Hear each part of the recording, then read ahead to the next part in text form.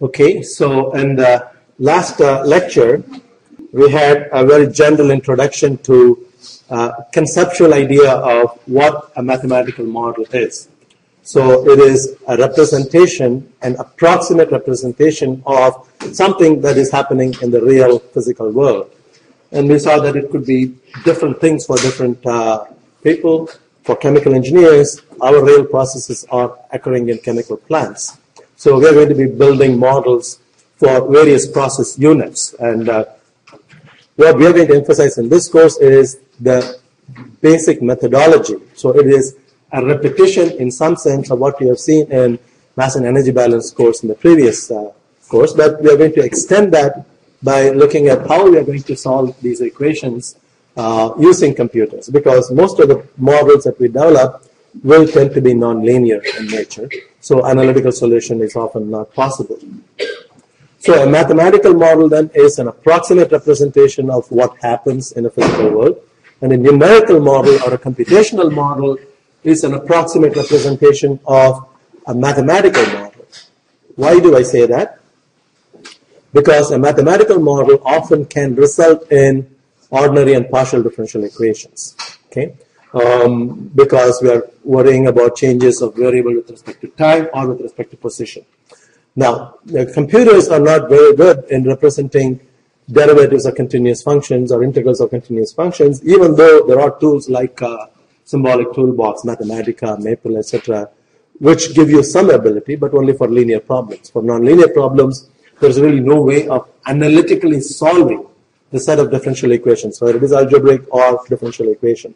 So we need to approximate that mathematical model by another level, which is uh, typically using Taylor series expansion that you would have seen in a math course. So we will go through that process again to understand what are the, first we need to understand what are the sources of errors in representing the physical world by the mathematical model, and then understand what are the sources of error in representing the mathematical model by a computer model. So we saw classifications of the uh, mathematical models, dynamic versus steady, lump versus distributed, linear versus nonlinear, etc. Okay, and we started developing a very specific, as an example, the first example, a very specific model for a reactor that converts, converts carbon monoxide and hydrogen into methanol with a recycled loop. And um, we ended up having now, are, are, there any questions in that part, in developing that equations, the five equations? Did everybody understand what principles we used and how? Because that is an important part. Understanding the physical description given in a problem statement and converting that into a mathematical language, into an equation, you should be able to do in this course. That is part of our objective. Okay, so we went through this process of making a mass balance uh, around uh, loop one, and then around loop 2 and we ended up with these five equations. And of those five um, one is not linearly independent. It is the same as the first equation. Nevertheless we built and we saw how to represent that in the form of a vector matrix product so that the problem can be represented in the form of ax equal to b where A is this particular matrix. In this case, it happens to be 5 by 4. Okay, there are 5 rows and 4 columns, and X is a vector which consists of the unknown variables X, Y, R, P. So what you need to be aware of is when we are using this vector notation in MATLAB, the first position refers to uh, uh, molar rate of carbon monoxide. The second position refers to the molar rate of hydrogen, etc. So the way that you arrange the variables is the way that you have to interpret the results. Okay, and so that turns out to be four by one. Okay, and on the right hand side you have what will be the dimension of that matrix? Five rows and one column. So this will be five by one. So when you carry out the matrix multiplication, 5 by 4 multiplied by 4 by 1 will give you 5 by 1 on the left hand side, which should match with 5 by 1 on the right hand side. So it's essentially a way of packing five equations. And you should typically will be packing hundreds of equations And this again is automated in uh, packages like Aspen and HYSYS. But basically that's what it does. Assembles the equations and uses a solver to solve. So we started the process of solving it and I'm going to continue with the MATLAB demonstration of that. Okay. So we also saw that we can eliminate a redundant variable, that is eliminate equation 3, and in addition we can also eliminate p. And then we can reduce that into a 3 by 3 system if you like, and that would look like it's a well-posed system. Okay, so here we have a 3 by 3 system. Whereas in the previous case we have five equations in four variables. So that doesn't look like a well-posed problem. But you will see what MATLAB does to show you the, some of the powers and um, uh, implied solution strategies that MATLAB uses. Okay, so that's where we basically left off in the last class. So I'm going to fire MATLAB again. And uh, unfortunately, I guess I need to re-enter that matrix. Okay, so this, all of you are familiar, right? You open up MATLAB and the way that you uh, define a variable, it's a purely interactive environment. We also say that MATLAB is an interpretive language. Does anyone know what that means? Have you seen the difference between an interpretive language and a compiled language like C, Fortran? These are all, Pascal are all compiled languages, right? So you write a program, you compile it, you create a .exe file or something, and then you run it, execute it. And most of the uh, HYSYS, Aspen, they're all done in that compiled format. Whereas MATLAB, you know, MATLAB originated as an instructional tool. It's called Matrix Laboratory.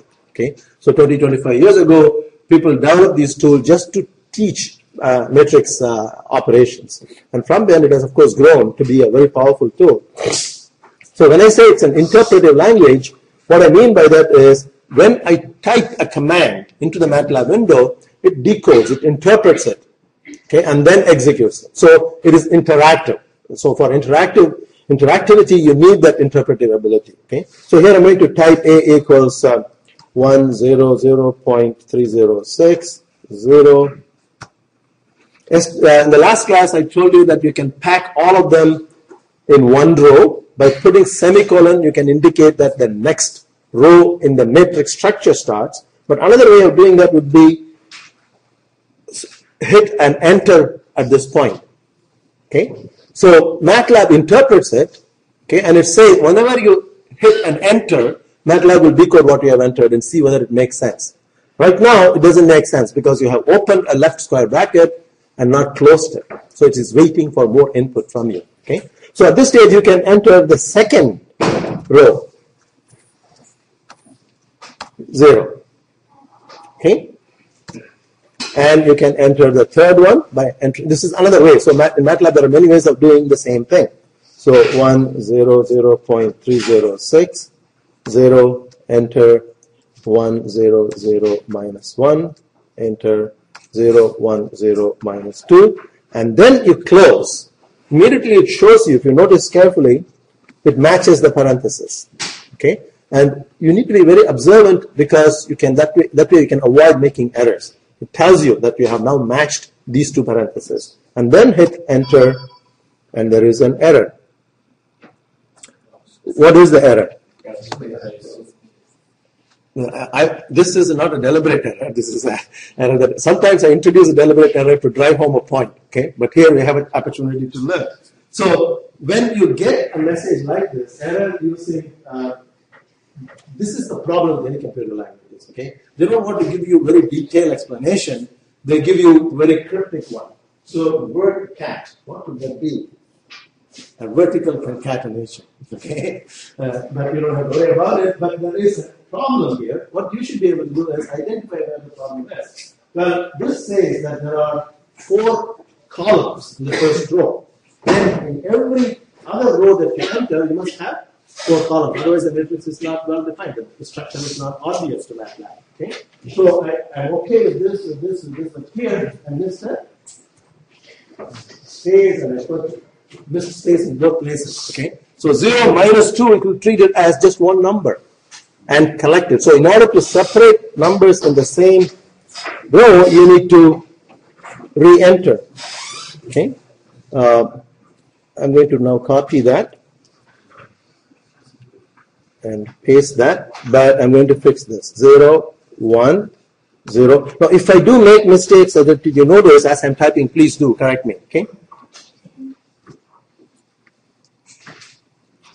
Okay. Now it interpreted it and it echoed back. Okay, so it always gives you a response. Okay, so it echoes back and says, okay, this is a new variable that we have defined, and it has this structure. It also creates here in the workspace a list of variables. So A is now a variable, 5 by 4. Its class is double, meaning it's a double precision variable. So as we go on, we will see that MATLAB has a whole variety of classes, integers, strings, uh, logical, and things like that. Okay, so I've defined A. Now I need to define the right hand side vector B. Okay, now again, I showed you one way of entering it. Now I'm going to show you a different way of entering it. Um, so here it is 101.475. And I want you to think about what I'm doing and explain to me. Okay. zero, zero. So if I enter this, what would MATLAB take that to be, that variable be? A vector with one row and five columns. Okay. now, if I enter the same thing with a transpose, the transpose operator is indicated by an apostrophe over that. Uh, you know what transpose operation is, right? It just transposes the rows and the columns. So it becomes a column vector. Okay, so I have now defined, I've understood the problem, constructed the matrix representation on a piece of paper. Now I'm trying to solve it. How would I solve it? Does anybody remember? You've obviously seen at least matrix sol- solution. This is an unfair question. if you haven't used it, uh, you cannot really remember. Okay, but I'm going to call this as x equals a backslash b. Okay, the backslash operation is a very powerful operator. So because the matrix A can be any size, 100 by 100, 1000 by 1000, it doesn't matter. And B has to be a corresponding vector that uh, uh, has the correct dimensions. And if I do A backslash B, it gives me the solution. Now, what? Now I need to be able to unpack it. So, what is the first variable? This is the mole fraction of uh, uh carbon monoxide. Uh, sorry, molar flow rate. Fluoride of uh, hydrogen. Okay, so that is the recycle rate, and the last one is the product rate. Okay. Now we had a problem. Okay, we had a linear. Uh, we, we didn't have a linearly independent set. We had five equations. It had four variables. How, what did MATLAB do? Anybody want to speculate? This is a knowledge of what you must have seen in linear algebra course. Pardon me? Uh, yeah, reduce, right, right. It's basically, uh, it, it, does something slightly different, but you are in the right direction. The row reduction is to, I showed in the last class, rank, rank of a matrix, okay? And there is another function called RREF, row reduced edu, uh, echelon form. Okay, so that will also do the same thing. For example, I can say RREF A. So what it does is it tries to find out what is how many independent equations there are. Okay, so it tells you that there are four essentially, and the last one is basically zero. Okay, that is basically what you are talking about. Okay, but there are some situations where I'm taking a lot of data from a plant, okay, and I have a huge matrix, okay, that may have 100 equations because each equation coming from a data point, but I have only four variables, okay. So what can I do in such a case where I want to find these four solutions to these four variables by constraining that that four variable must satisfy all of the 100 equations? Is it possible from your linear algebra course? That's not possible, right? If you have four equations and four variables, we can find exactly what this variables are, what the solution is. That will satisfy the four equations. But if you have only four variables and 100 equations, there is no way that you can do that. But what you can do is find the solution in a least square sense. You minimize the error. Okay? So those are the best possible values of uh, the four variables that will minimize the error in all the 100 equations, but it will not satisfy any of the 100 equations exactly. But in this case, because it is uh, there are four well posed problem. There are four equations in four unknowns, and it can do the rank reduction. It actually finds the exact solution. How do you check whether the solution is correct? Plug it back in there. Okay. So what what do I need to do? A times x minus b. Okay. Did you hear that noise? Because I didn't have a matched parenthesis. Okay. So if I do ax minus b, what is it going to give me? How many zeros will it give me? Four, one, five, five. Let's try it. That is what you, sh- you should not be afraid of. Try it and then interpret it and understand it. Remember, I have five equations. So it puts all the four variables into each one of the five equations and finds the difference between the left hand side and the right hand side. And is that answer correct? How do you interpret it? It says that the answer is 10 to the minus 14 and then 0, 0, 0, 0.3559 0. What does that say? It says if you plug it back in there, the difference between the left hand side and the right hand side is exactly 0 for equation 1, 2, 3, and 5, but for the fourth equation it is, has a small error. Right? What is the magnitude of error? 10 to the minus 14. That is the left hand side and right hand side differ in the 15th decimal place perhaps. Okay? You, are you following me so far? Why is that? Is it because I have an ill-posed problem, five equations and four variables, or is it something else?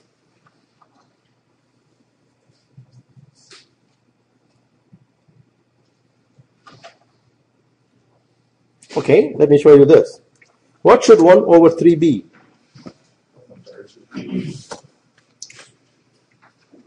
Okay, it goes forever, 0.333333 forever, right? That MATLAB cannot represent infinite precision. So this is a problem with any computer language, okay, any computer system.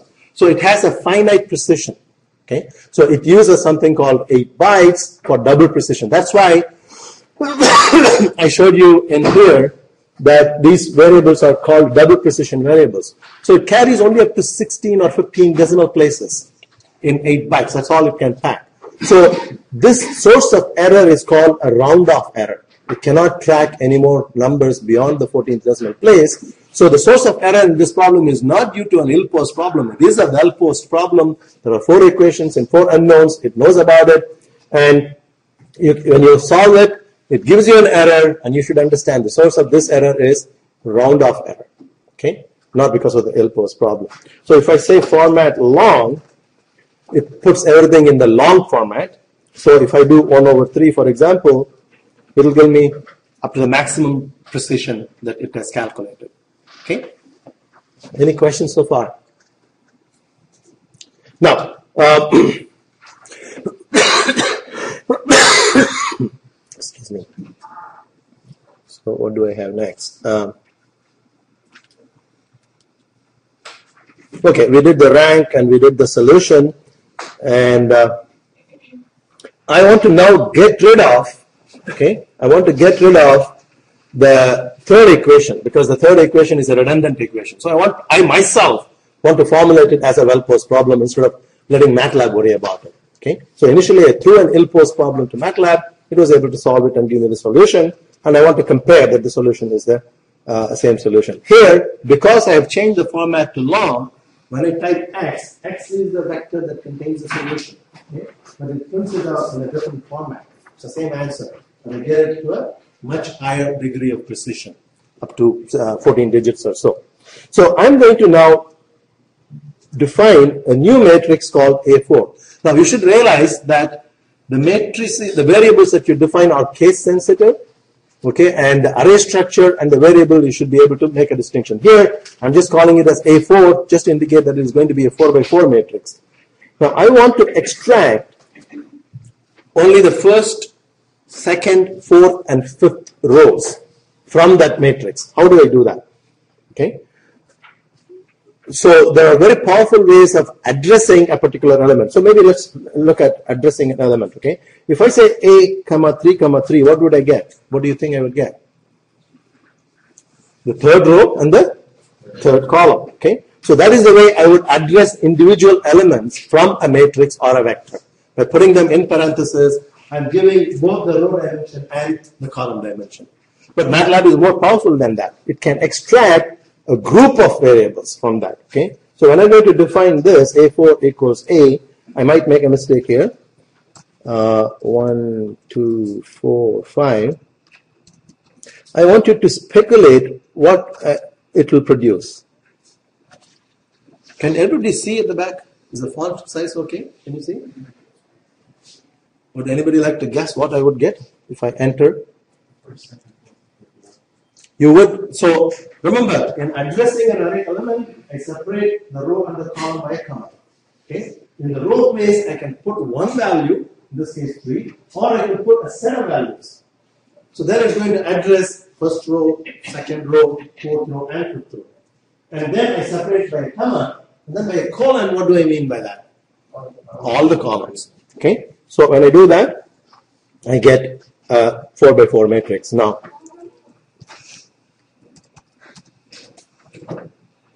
okay, A4 now is 4 by 4 matrix. Okay? Now, I need to do the same thing for B. So B is going to be equal, B4 is going to be equal to B. 1, 2, 4, 5. Okay, now I have a 4 by 4 system. Okay, and if I type this, what am I going to get?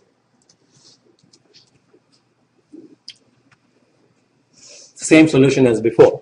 Okay, you can compare that. X variable contains the same solution, and X4 is by eliminating the redundant variable, I formulate the same problem and I get exactly the same result. Any questions so far? Some of these I think I have put in the notes um, so that you can go through it. And I have also illustrated a 3 by 3 system in the notes, so you may want to play with that. Okay. Now it's a question. This was a question that somebody raised in the last class, and I think I gave the wrong answer, and I want us to think about it. Okay. And the question was, uh, when I make an overall balance, okay, on the outer loop,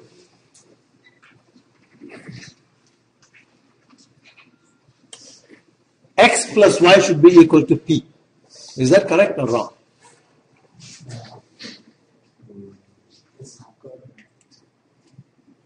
Why is it not right? Hmm? There is a reaction, and what does the reaction do? Right. So there is no law that says that the number of moles that you put in should be equal to the number of moles that you get out. It depends on the reaction stoichiometry. Okay? But the mass that you put in should be equal to the mass that comes out because mass is neither created nor destroyed. Okay? So I realized this only when I was writing the notes last night and I saw X, Y, and P and they were not comparing. And I remember somebody asked me that question. And the answer is if I convert this by multiplying the molecular weight of X and the molecular weight of CO and molecular weight of hydrogen, find out the mass of weight and then take the molecular weight of methanol and multiply that by P, then I should get the same mass, mass rate, mass in equals mass out. That will automatically be satisfied. Okay, that's something that I would like you to verify by yourself. Uh, I just wanted to clarify that because I think I might have given a wrong impression there. Okay, so that's problem one, and it gives us some introduction to MATLAB. And let's now talk about the second problem.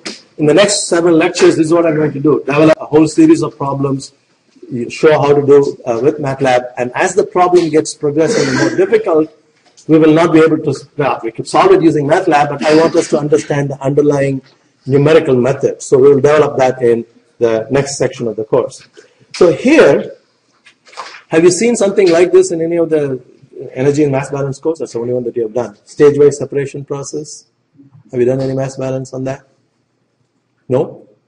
Okay, then I have to take it a little bit slow. Okay? So what this is, is um, a series of separation devices. These are the kinds of things that you will see uh, when you drive past uh, Baton Rouge, uh, Lake Charles, and places like that. It's a distillation column an absorption column, an extraction column, a desorption column, and these are tall towers. And what really happens inside them is you have two streams that are going countercurrently. Okay, so in a distillation column, for example, at the bottom of the distillation column, you will have something called a, a reboiler. So you put energy, you vaporize. Okay, crude, for example, the crude that we get, we separate them into gasoline, aviation fuel, diesel fuel, etc., in a column like that.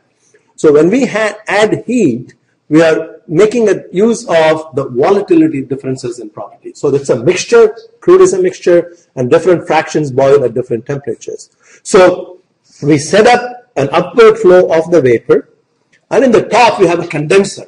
Okay? And the condenser will condense the vapor and send it back, but it goes like this. Okay? So the vapor and the liquid contact very well in each stage. So this would be called a stage. And this is how a stage will look like. This is a computer representation. So the liquid will come down and through a downcomer, and then it'll, it'll flow across. And then there is a weir.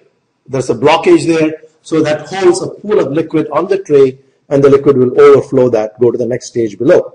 And the vapor will come through these holes, and they bubble. The vapor bubbles through the liquid, releasing the lighter material into the vapor stream, getting the heavier material from the vapor stream into the liquid stream. So what you do is you establish a temperature gradient, a concentration gradient, and then you can tap at this stage say, okay, the temperature is such and such that if I take the product from that tray, I'm going to get gasoline. Okay, so that is the basic idea of a separation device. There is no chemical reaction taking place. It's a physical separation. And we are making use of two properties here. One is differences in volatility. Different material boil at different temperature. The other one is in each tray, we are mixing the gas and the vapor and the liquid, and then we are separating them. So there is a region where the vapor bubbles out, so it disengages. So they mix and then they dis- disengage and then they go to the next tray. Okay? and this is called a countercurrent flow. So the vapor and the liquid flow in the opposite directions.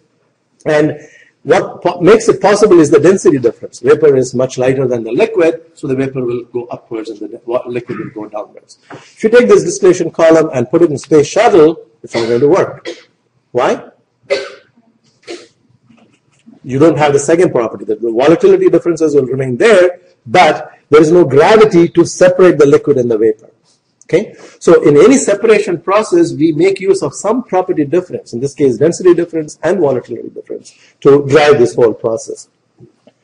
Do you understand the problem? Okay, so it is a separation. The whole course is given on this. Later on, you will see how to design distillation columns, how to design extraction columns, absorption columns, desorption columns, etc.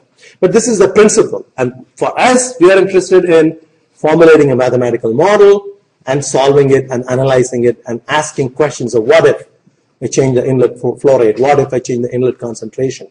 How does the performance of the thing uh, affect? So getting to that stage, and then you will be able to use that more effectively in the separation process course. So conceptually, we are going to describe this counter current exchange as just black boxes. Okay, so this is stage one. This could be at the top of the column. Stage two, the next one below the stage three, etc. Okay, and this is an example of an absorption column.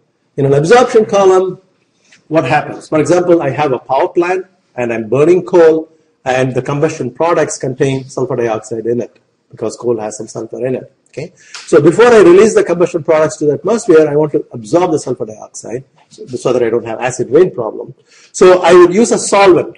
Amine, for example, is a good solvent. Okay. So again, I would countercurrently contact. So I will pump this gas mixture of carbon dioxide, nitrogen, and sulfur dioxide from the bottom, and it goes up. And then from the top, I put the solvent, and the solvent selectively dissolves the sulfur dioxide. It doesn't dissolve anything else. So at the bottom, I'll get a liquid stream, which is very rich in sulfur dioxide.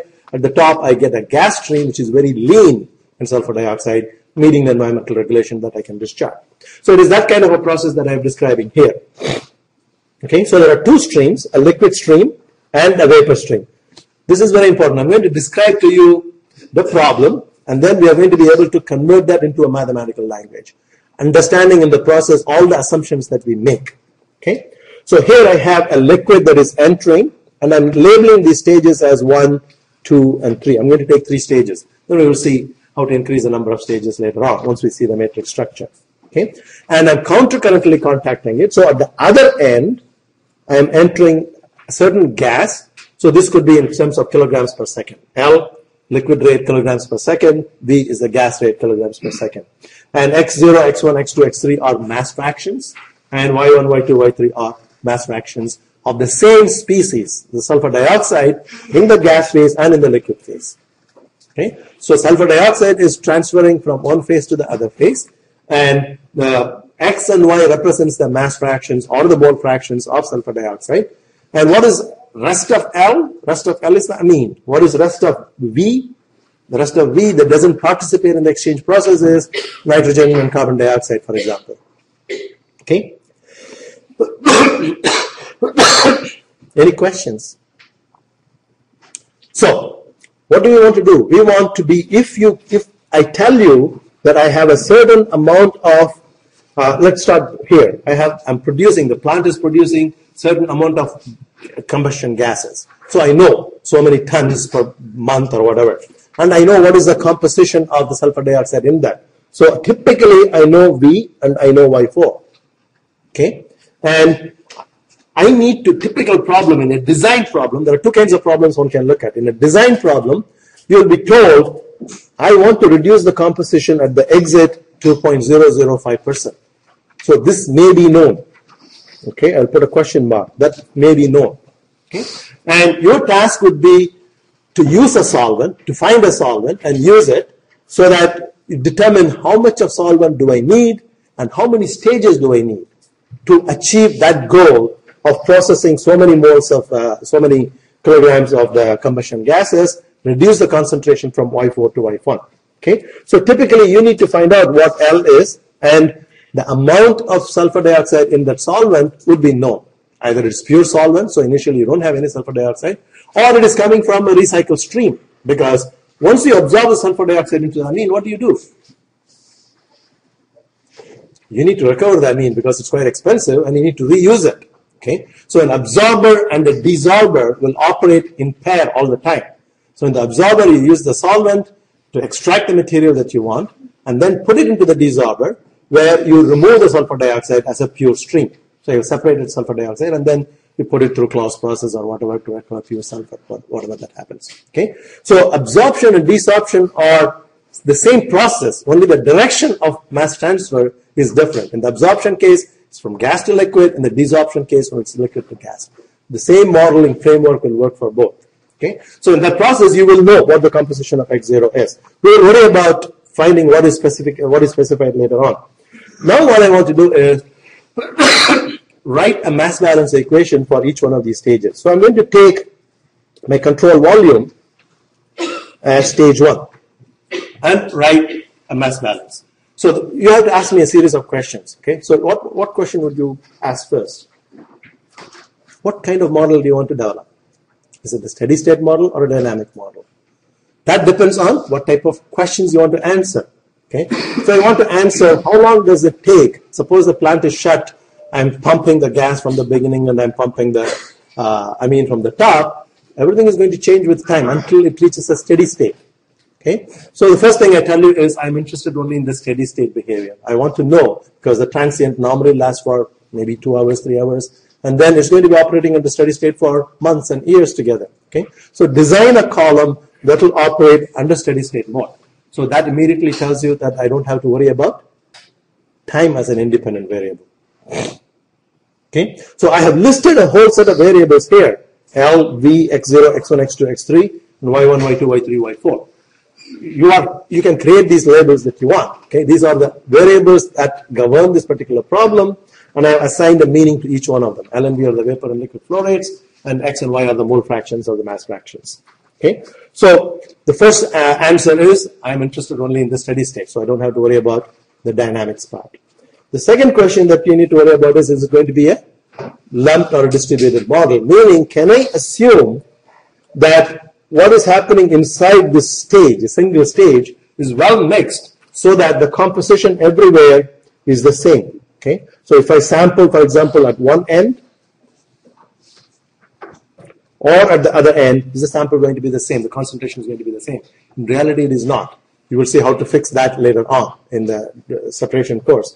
For our purposes, this is called an ideal stage, an ideal tray. Okay, we're going to assume that there is no distributed effect. So, what kind of equations will I develop under those assumptions? Lumped, steady state. Say it again. Is it going to be linear? You're jumping ahead a little bit. It, we will examine that part, whether it is linear or non-linear. It's going to be algebraic. That's all we can say. Okay? It's not going to be a differential equation. It's going to be an algebraic equation. Whether it is linear or not depends on the type of equation. So only after I've written down the equation, I can tell whether it is linear or not. Okay?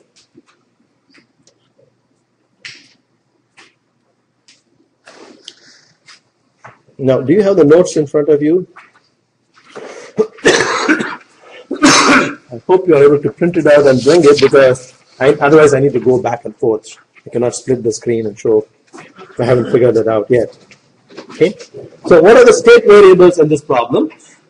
We have we have talked about. Uh, you can read these things. We have talked about solubility difference as a whole series of problems. You show how to do uh, with MATLAB, and as the problem gets progressively more difficult, we will not be able to. Well, we could solve it using MATLAB, but I want us to understand the underlying numerical method. So we will develop that in the next section of the course. So here, have you seen something like this in any of the energy and mass balance courses? That's the only one that you have done. Stage-wise separation process. Have you done any mass balance on that? No? Okay, then I have to take it a little bit slow. Okay?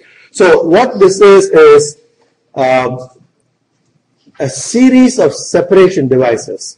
These are the kinds of things that you will see uh, when you drive past uh, Baton Rouge, uh, Lake Charles, and places like that. It's a distillation column, an absorption column, an extraction column, a desorption column, and these are tall towers. And what really happens inside them is you have two streams that are going countercurrently. Okay, so in a distillation column, for example, at the bottom of the distillation column, you will have something called a, a reboiler. So you put energy, you vaporize. Okay, crude, for example, the crude that we get, we separate them into gasoline, aviation fuel, diesel fuel, etc., in a column like that.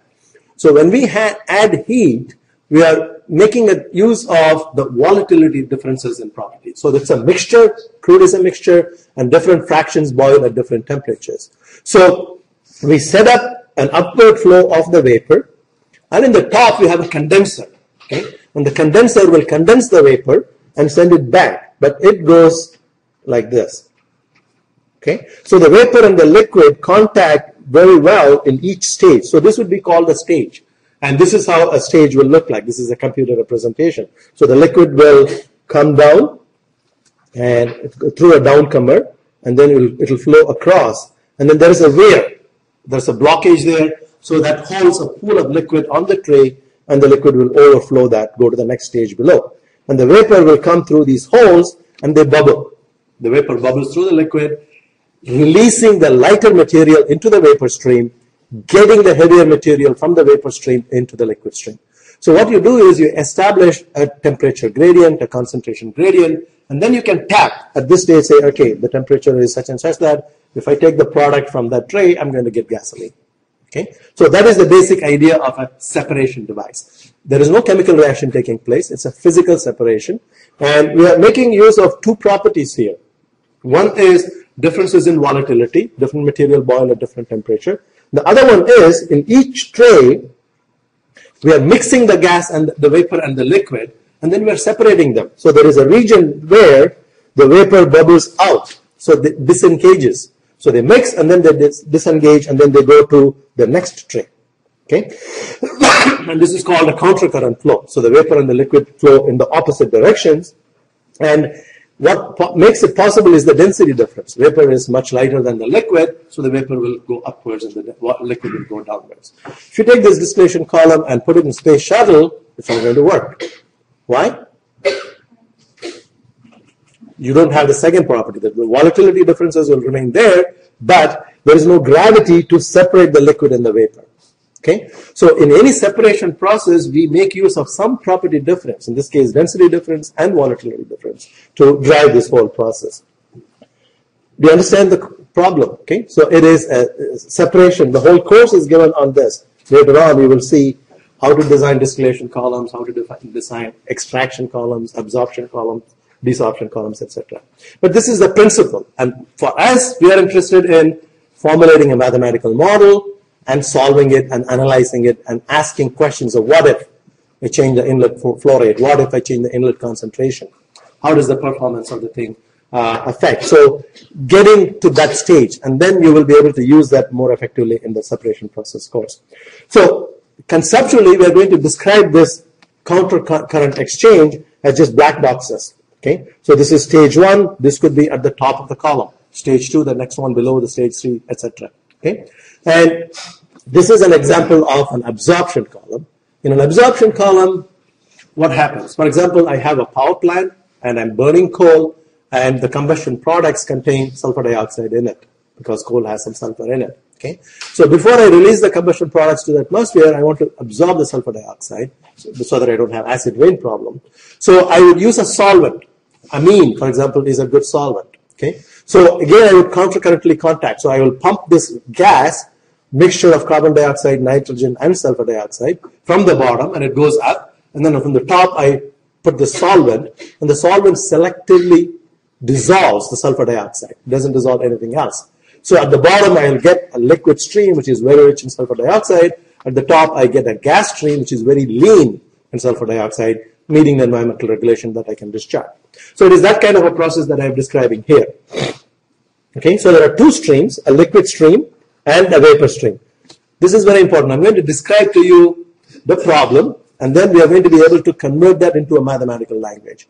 Understanding in the process all the assumptions that we make. Okay. So here I have a liquid that is entering and I'm labeling these stages as one, two, and three. I'm going to take three stages. Then we will see how to increase the number of stages later on once we see the matrix structure. Okay. And I'm countercurrently contacting it. So at the other end, I'm entering a certain gas. So this could be in terms of kilograms per second. L, liquid rate kilograms per second. V is the gas rate kilograms per second. And X0, X1, X2, X3 are mass fractions. And Y1, Y2, Y3 are mass fractions of the same species, the sulfur dioxide, in the gas phase and in the liquid phase. Okay? So sulfur dioxide is transferring from one phase to the other phase. And the X and Y represents the mass fractions or the mole fractions of sulfur dioxide. And what is rest of L? Rest of L is the amine. What is rest of V? The rest of V that doesn't participate in the exchange process is nitrogen and carbon dioxide, for example. Okay? Any questions? So, what do we want to do? We want to be, if you, if I tell you that I have a certain amount of, uh, let's start here. I have, I'm producing, the plant is producing certain amount of combustion gases. So I know so many tons per month or whatever. And I know what is the composition of the sulfur dioxide in that. So typically I know V and I know Y4. Okay. And I need to, typical problem in a design problem, there are two kinds of problems one can look at. In a design problem, you will be told, I want to reduce the composition at the exit to 0.005%. So this may be known.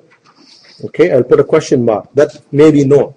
Okay, and your task would be to use a solvent, to find a solvent and use it so that you determine how much of solvent do I need and how many stages do I need to achieve that goal of processing so many moles of, uh, so many kilograms of the combustion gases, reduce the concentration from Y4 to Y1.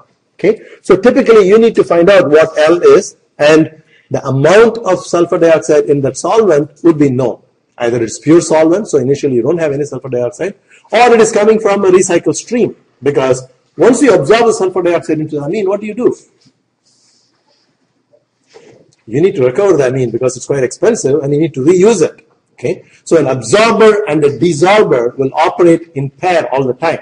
So in the absorber, you use the solvent to extract the material that you want and then put it into the desorber where you remove the sulfur dioxide as a pure stream. So you separated sulfur dioxide and then you put it through Claus process or whatever to recover pure sulfur, whatever that happens. Okay. So absorption and desorption are the same process, only the direction of mass transfer is different. In the absorption case, It's from gas to liquid, in the desorption case, from it's liquid to gas.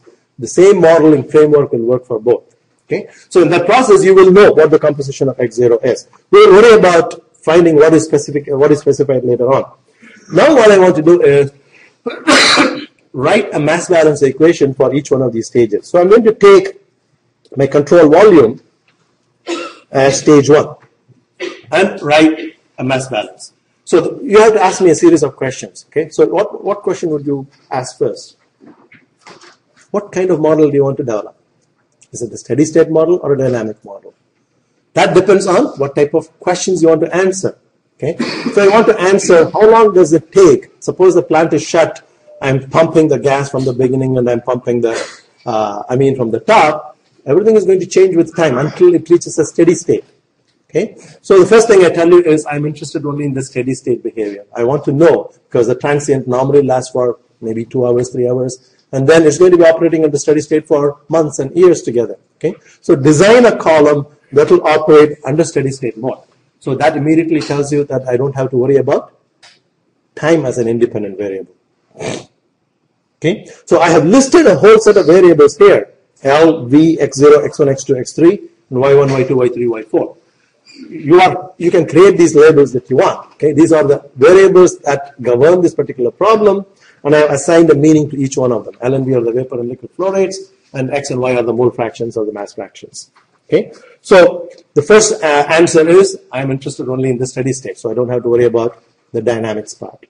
The second question that you need to worry about is, is it going to be a lumped or a distributed model? Meaning, can I assume that what is happening inside this stage, a single stage, is well mixed so that the composition everywhere is the same? Okay, so if I sample, for example, at one end,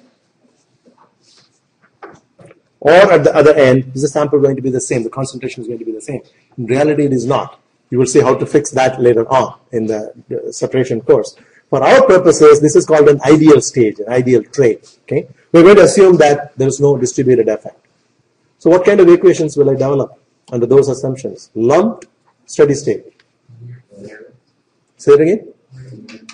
Is it going to be linear? You are jumping ahead a little bit. It we will examine that part, whether it is linear or non-linear. It's going to be algebraic. That's all we can say. Okay? It's not going to be a differential equation. It's going to be an algebraic equation. Whether it is linear or not depends on the type of equation. So only after I've written down the equation, I can tell whether it is linear or not. Okay?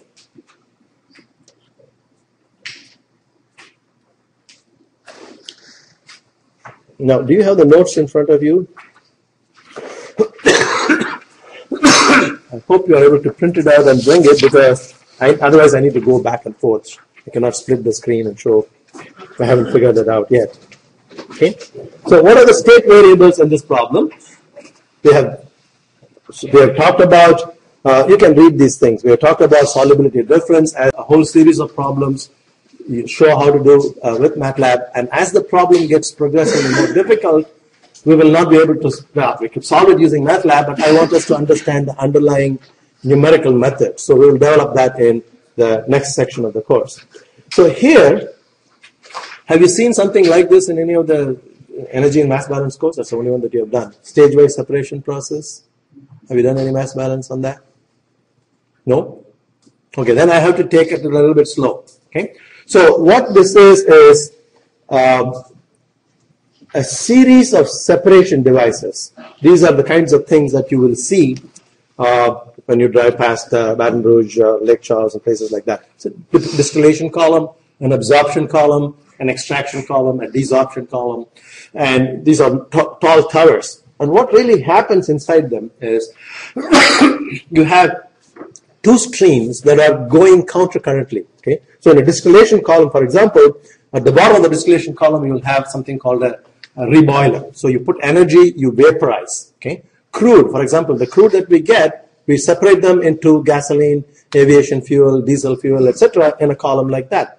So when we add heat, we are making a use of the volatility differences in properties. So it's a mixture, crude is a mixture, and different fractions boil at different temperatures.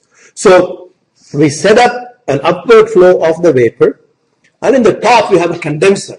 Okay, and the condenser will condense the vapor and send it back. but it goes like this. Okay, so the vapor and the liquid contact very well in each stage. So this would be called a stage. And this is how a stage will look like. This is a computer representation. So the liquid will come down and through a downcomer, and then it'll, it'll flow across. And then there is a weir. There's a blockage there. So that holds a pool of liquid on the tray, and the liquid will overflow that, go to the next stage below. And the vapor will come through these holes, and they bubble. The vapor bubbles through the liquid, releasing the lighter material into the vapor stream, getting the heavier material from the vapor stream into the liquid stream. So what you do is you establish a temperature gradient, a concentration gradient, and then you can tap at this stage say, okay, the temperature is such and such that if I take the product from that tray, I'm going to get gasoline. Okay, so that is the basic idea of a separation device. There is no chemical reaction taking place. It's a physical separation. And we are making use of two properties here. One is differences in volatility. Different material boil at different temperature. The other one is in each tray, we are mixing the gas and the vapor and the liquid, and then we are separating them. So there is a region where the vapor bubbles out, so it disengages. So they mix and then they dis disengage and then they go to the next tray. Okay, and this is called a countercurrent flow. So the vapor and the liquid flow in the opposite directions, and what makes it possible is the density difference. Vapor is much lighter than the liquid, so the vapor will go upwards and the liquid will go downwards. If you take this distillation column and put it in space shuttle, it's not going to work. Why? You don't have the second property. The volatility differences will remain there, but there is no gravity to separate the liquid and the vapor. Okay, so in any separation process, we make use of some property difference, in this case density difference and volatility difference, to drive this whole process. Do you understand the problem? Okay, so it is a separation. The whole course is given on this. Later on, we will see how to design distillation columns, how to design extraction columns, absorption columns, desorption columns, etc. But this is the principle. And for us, we are interested in formulating a mathematical model, and solving it and analyzing it and asking questions of what if I change the inlet flow rate? What if I change the inlet concentration? How does the performance of the thing uh, affect? So getting to that stage, and then you will be able to use that more effectively in the separation process course. So conceptually, we are going to describe this counter current exchange as just black boxes. Okay, so this is stage one. This could be at the top of the column. Stage two, the next one below the stage three, etc. Okay, and this is an example of an absorption column.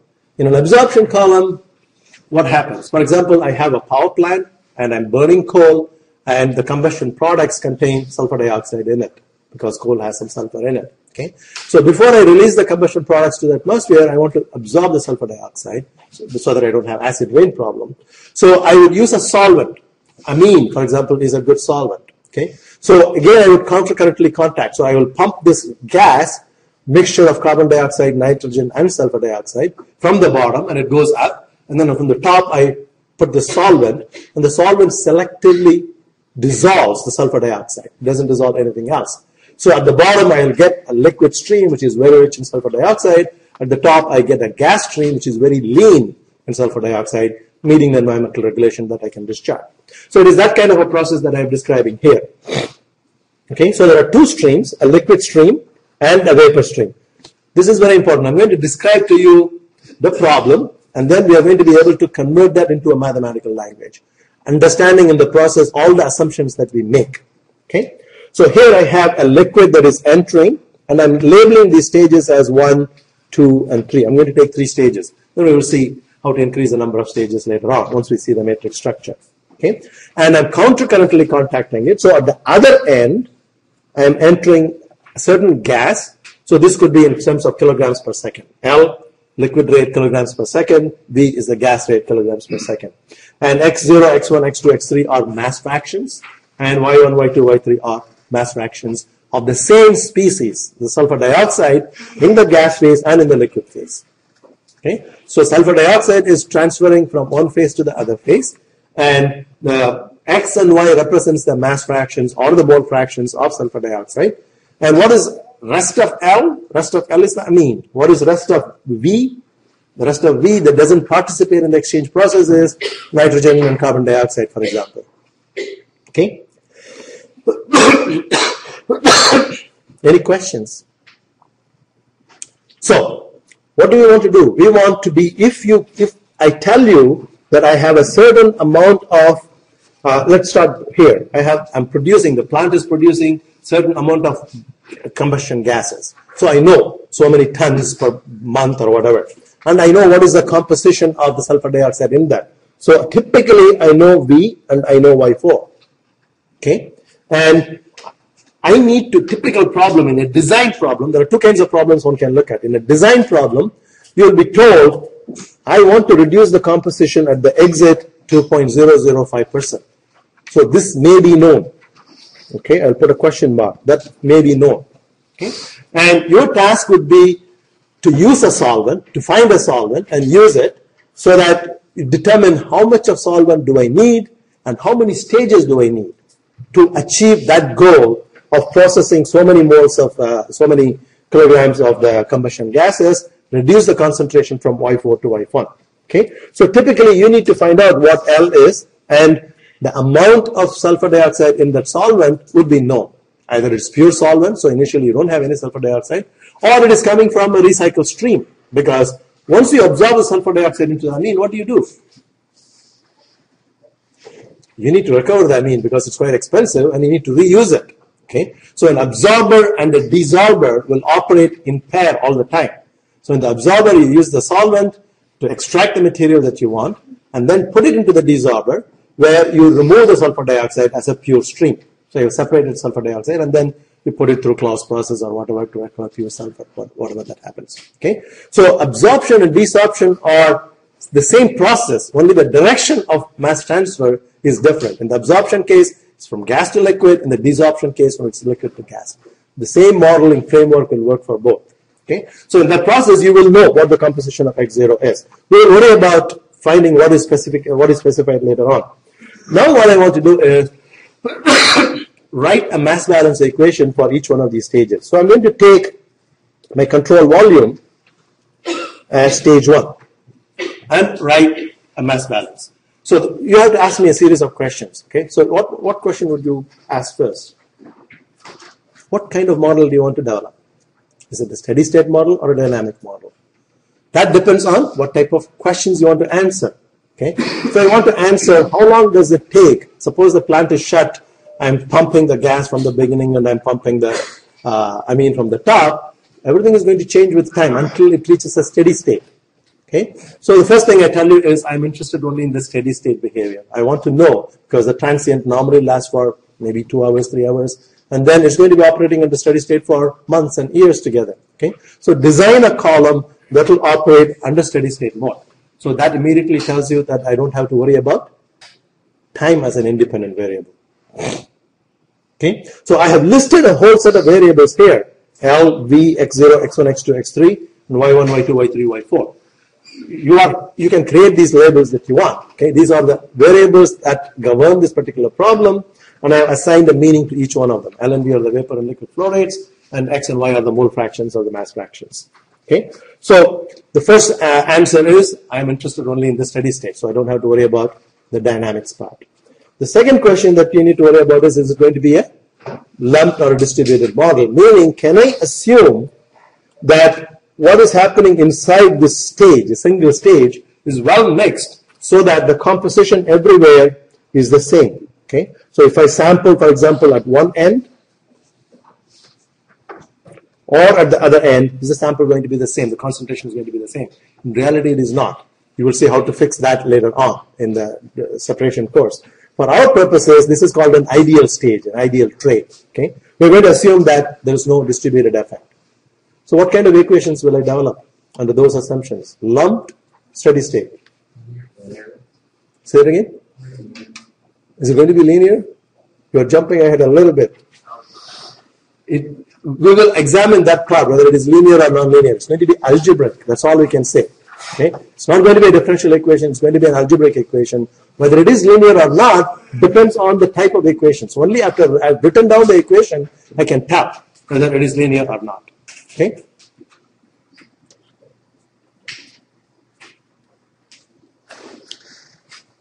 Now, do you have the notes in front of you?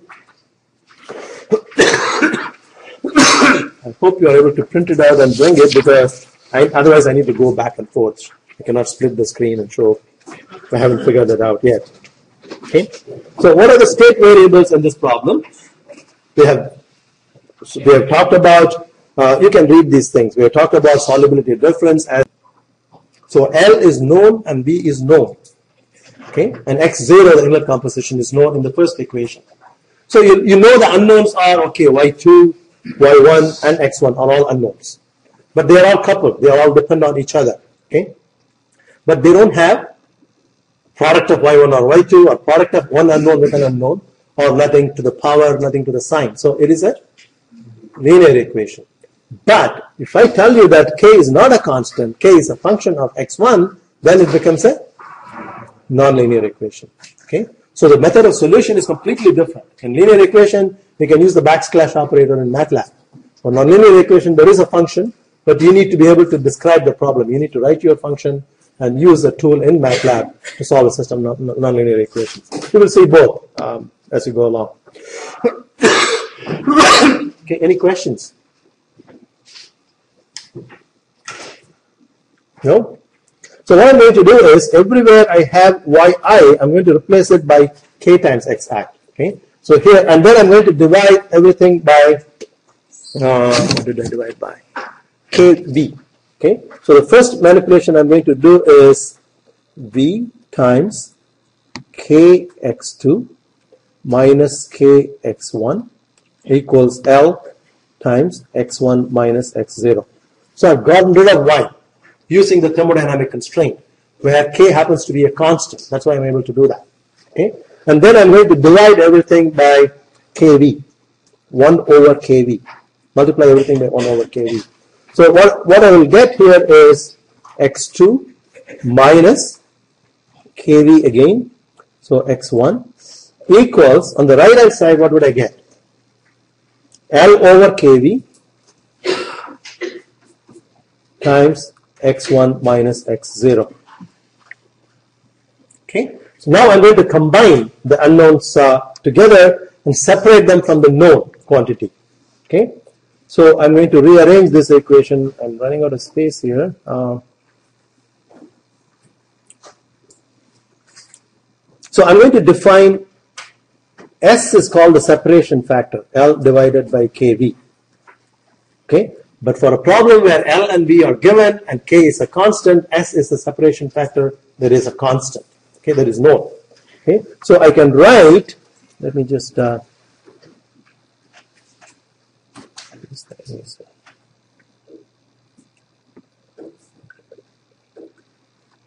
okay. Um, I, I, need to flip back and forth. Okay, so I'm going to assemble on the left hand side I have s times x1. Okay, I'm going to call this as x. Okay, so s times x1 on the left hand side, s times x1. Okay, and then I have already an uh, x1 that goes also to the same side. Okay, so let me move everything to one side. So it is going to be 1 plus s. 1 plus s times x1 Okay. And uh, what else do I have on the left hand side? x2. x2 appears by itself with a factor of 1. Okay. So plus x2. And x0 is known, so it's going to go to the right hand side. Okay. So that's going to be multiplied by s. So that's going to be s times x0.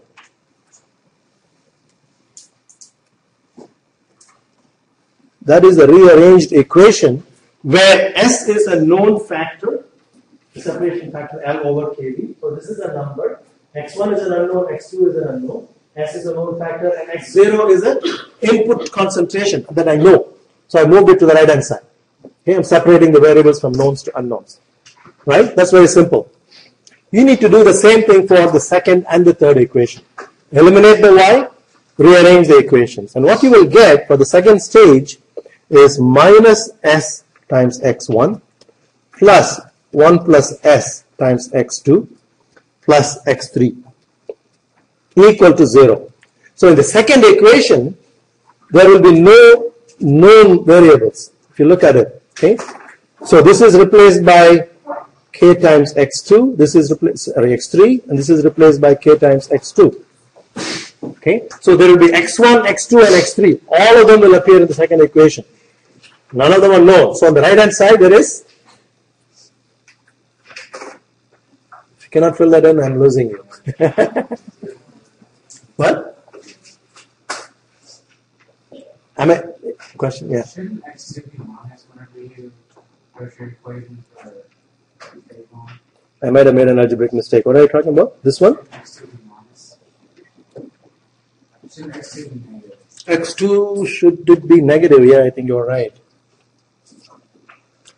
See, this is where I, I should have left more space here. Okay, so X1. Okay, if I keep everything on the right hand side, this should be plus S. This goes there, it becomes plus, and X2 goes to that side, it becomes minus, and that goes to the other side, it becomes plus. All right. Thank you.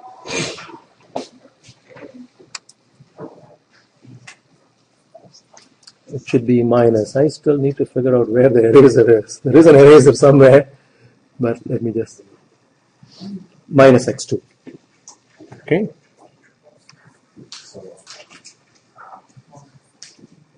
And the same thing will happen here. It's minus x3. Okay. If you have difficulty only in this manipulation, I would ask that you figure it out, spend some time, and if you have still questions, come and ask me. Okay, I don't want to spend a lot of time doing algebraic manipulations in the class. It's more important to get the ideas and concepts right, formulation of the problem right. Okay. So, do you want me to repeat this equation, show, or you are okay with it? You can figure it out. All we are doing is substituting for y in terms of kx, and then rearranging it, dividing everything by kv, and then grouping the terms such a way that I have on the left hand side the unknowns, and the right hand side any known quantity. Any questions? Would you rather me work this out in detail in the class? How do you feel? I need input. I need you to talk. Like, how do we specify what was like known and unknown? Did we just we just made it up like you just said? In, in, in a real plant, if you are in a plant and you have faced this problem, I understand I'll be real specifications, but I'm saying like in the instance of this problem, if we just in the interest of this problem, I told you that I'm going to deal with the performance analysis problem. So I'm going to assume that the inlet flow rate and compositions are known. L and V and X0 and Y4 are known. Unless I specify that, you cannot separate this out. You cannot do the process that I'm doing. Okay. So in an exam and in a quiz, in, a, in uh, like in your uh, current assignment, again I tell you, and then I ask you to speculate what would happen if I change the uh, specifications from one set of four variables to another set of four variables. How does the nature of the problem change? Okay, I want you to analyze, be able to analyze that. Okay. So if you feel strongly that you want me to see the algebraic manipulations, I will prepare. So I will leave more space and I will work these out. Okay. But um, when I think that you can do that, I tend to skip that and ask you to, of course, complete it by yourself. This is a skill you need to have in an exam. Okay. But it's not a skill that we should waste our time in the class, I think. Okay. But I, I'm ready to receive your um, comments and adapt as, uh, as we need. Okay. So for the third stage, let me just look at it, third equation, and ask you to identify what would be the known. This is the third equation. Of course, L and V are known, so we can carry out the same operation. And Y4 is a, you need to have the figure, of course, in front. Y4 is a known quantity. Where is it? Y4 is an inlet, inlet condition. So that is given. So Y4 should go to the right hand side.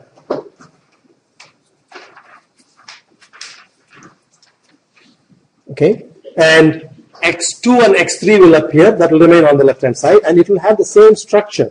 This is what I want you to figure out. Okay? So what will happen is you'll have minus s times x2 plus 1 plus s times x3 equals y4 divided by k. Now y4 is not an equilibrium stream. It's not an equilibrium with anything. It's an inlet stream. So there will be a k that is left over that will come, but it is known. So you push that to the right hand side. Okay? So that is how the equation is going to look. And you need to be able to complete this manipulation in an exam and then put it in a matrix form. Okay, so now I'm going to define a vector x that consists only of three unknowns x1, x2, and x3. what happened to y1, y2, y3? I eliminated them because it was a very simple equation y equals kx. I could do that. Otherwise, you will just stack the remaining three equations at the bottom. So you'll have three mass balance equations, three thermodynamic equations, six equations and six unknowns. You will treat the unknown vector as x1, x2, x3 and y1, y2, y3. Okay? I am getting an uneasy feeling because when everybody is very quiet and not sure what is the quietness due to. you know, either you're baffled. Shall we continue? Are you guys okay? Okay? Alright, so put it in matrix form. So I'm saying write it in this form Tx equal to B. Okay, I'm calling this matrix T. Okay, why, why do I call it T? You will understand pretty soon.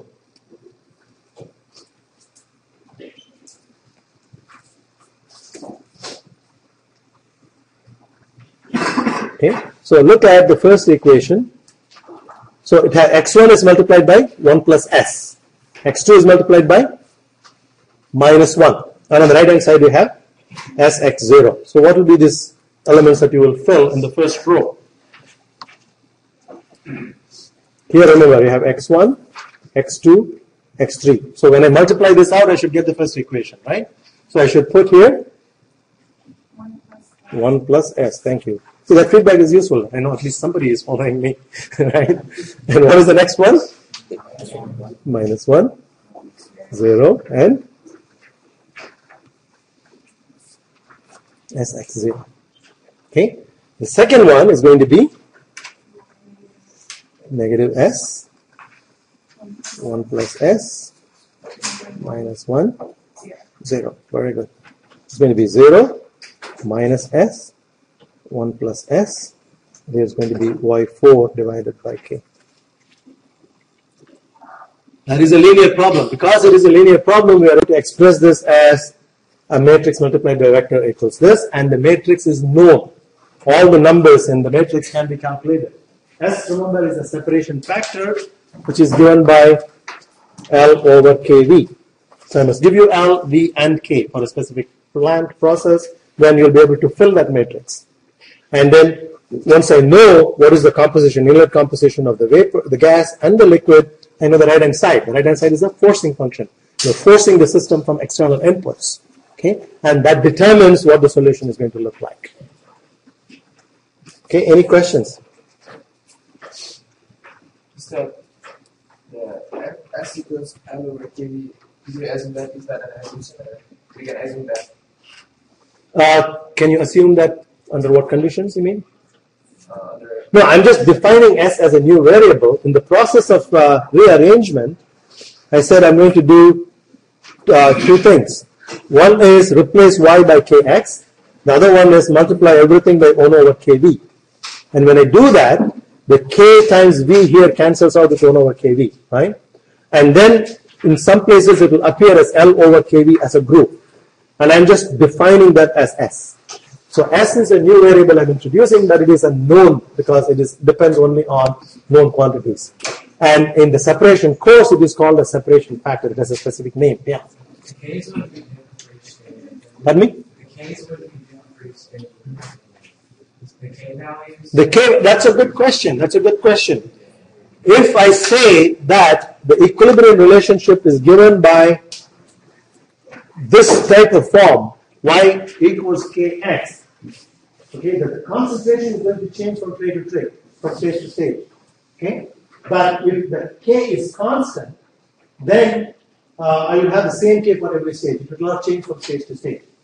Okay, because the slope is constant. So if I know that what the constant, local concentration is in the phase, in the liquid phase, I can predict from the vapor, gas phase, from thermodynamics. But if the system is such that, that the concentration change is very high from stage to stage, then we might have a nonlinear equilibrium relationship. Remember, this graph is given to you from thermodynamics. So there are two cases we should be able to handle. One is if this is truly a constant, K is a constant, then it is constant from state to state. If K is a function of composition, if composition changes from state to state, K will change from state to state. How would you reformulate at that state? You should be able to figure that out. Okay? That's what you're asking, right? So uh, let's talk about that case. What would happen to this matrix that we have written if K is not a constant? K changes from stage to stage.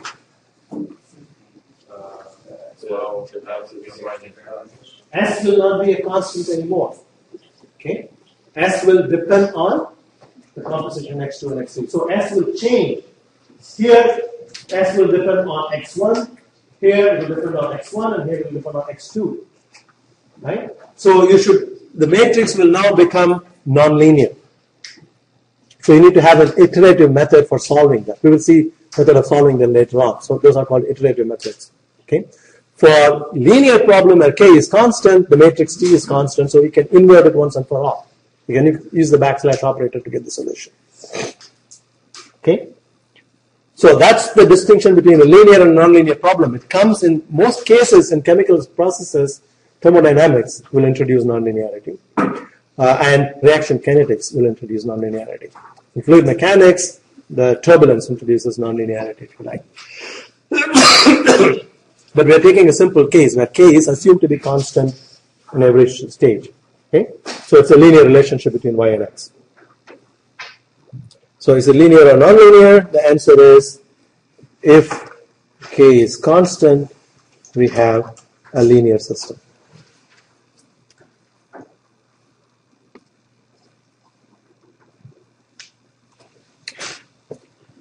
Okay, so now I need to be able to go into uh, MATLAB and formulate this problem to get a solution for x1, x2, x3. Okay, so I've given you specific numbers. L is 1, V is 1, K is 1. Um, I guess I cannot specify all of them and specify S is 0.5. That's a mistake. You need to calculate what S is. If I give you L, K, and V, S has to be calculated. Okay, and x0 is 0.1 and y4 is 0. Okay. So I'm going to go into MATLAB, and uh, of course we already know how you can define these. For example, I can actually put these variables: L equals one, V equals one, K equals one, and then you can say S is equal to L divided by K divided by V. Okay. So whatever symbols we have used, you can use that in the workspace, and those are all defined. Okay. And then you can define the matrix T as equal to what did I put? 1 plus S. I could do that. Why? Because I have calculated S. S is now a defined symbol in the workspace. Okay? So I could just express everything in the way that I worked out on the sheet of paper. And then what would be the next one? Minus 1 and 0 right? And then the next one is minus s space 1 plus s space minus 1 colon and then 0 minus s 1 plus s. Close that. If I didn't make any mistake, I would have t calculated for me for those specified values of L, K, and V. Okay? And then I need to specify B, and for that I need to specify what? Uh, x0. So I'm going to, now I'm defining a variable called x0 and putting the value, what was the value? 0.1? 0.1. Okay, and then I can say B is equal to S times x0 space 0 space and y4 was 0, right? I'm just going to put 0 there. Otherwise, you can define y4 equal to whatever the number is, and you can do y4 over k and transpose. So define b. So what is x? The solution is t backslash b. Okay, 0.075, 0.05, 0.025. So the composition um, decreases as stage number increases. Okay, so that much you know. Now the challenge comes I want to redo this for a different value of k or different value of l. What do you do? Do you go and retype everything here? or do you get a bit more sophisticated and use something called programming or scripting? Okay. a script would be a file, a MATLAB file, where you can enter any command that you can enter interactively and save it in the file and then execute all the commands at one touch. So to get there, all you need to do is edit. I'm just going to call it test.m. All the MATLAB files have an extension of .m, so these are called M files. Okay, so I say edit test.m, and an editor. Oh, there is a function called test, so to open that, this could happen. Okay, so MATLAB has thousands and thousands of built-in functions. So if you use the same name that is already in the library, then it opens up that function. Okay, so I don't want that. Let me call it edit problem one. I hope doesn't exist. that exists too. Okay, edit test problem one, TP1. You want to create it? Yes. So it gives me a blank editor into which I can enter all the commands that I have entered in the command line. So I can say, for example, L equal to 1. And if I put a semicolon, it will stop printing, echoing. Normally what happens when I type L equal to 1 in the workspace, for example, say when I say L equal to 1, it echoes that. But if I say L equal to 1 and semicolon, don't print it out. Except define L, but don't print it out. That's a good strategy to use in the editors because you don't want everything to be output. Okay, and then you can put uh, v equal to one. You can actually put many statements in the same line. For example, I can have k is equal to two. Okay, x zero equal to 0.4, 0.3, whatever, and y four equal to zero.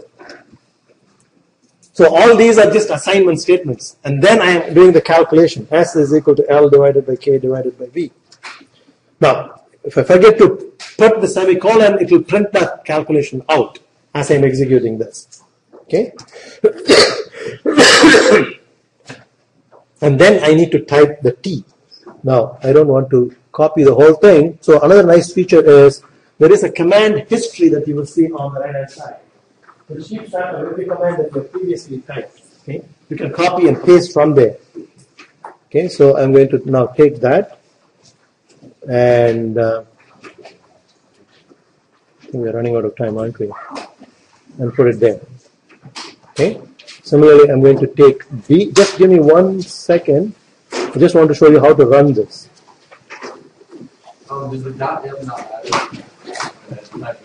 How? Does dot M not matter it? Uh, it, it automatically labels it as .m, but it searches only for a .m file. So if I type, for example, TP1, it has to have a .m extension for MATLAB to recognize it. I think we're running out of time, so I will continue with this in the next class. Okay.